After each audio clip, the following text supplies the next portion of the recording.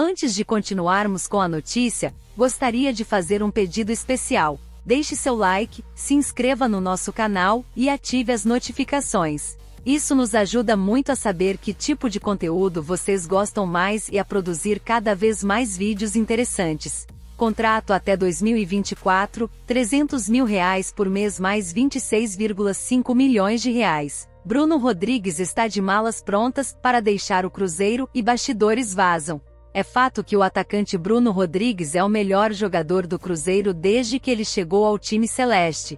O camisa 9 assumiu o protagonismo na toca da Raposa e isso despertou o interesse de outras equipes. O futebol japonês e o russo seriam alguns interessados em contratar o jogador. Em sua coluna no site da Rádio Itatiaia, o jornalista Jorge Nicola informou que Bruno Rodrigues tem sondagens do exterior e pode deixar a Raposa.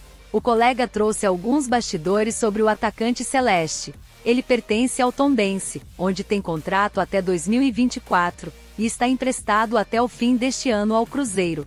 No momento, existem duas sondagens a Bruno Rodrigues uma delas de um clube japonês, que já até realizou um jantar com o atacante e seu staff. A intenção foi conhecer mais o atleta e as condições de uma transferência. Esse interessado prometeu realizar uma proposta entre 4 e 5 milhões de euros pelo atacante, revelou.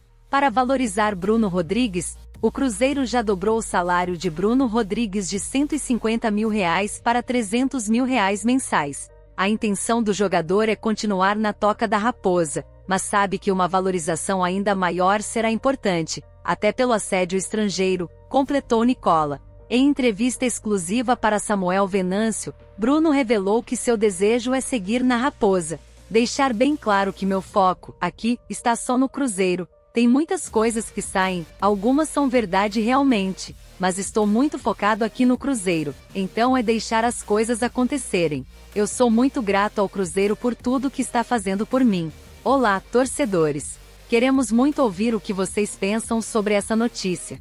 Por favor, deixem seus comentários abaixo e inscrevam-se em nosso canal para acompanhar todas as novidades da nossa equipe. Agradecemos pelo seu apoio e até a próxima!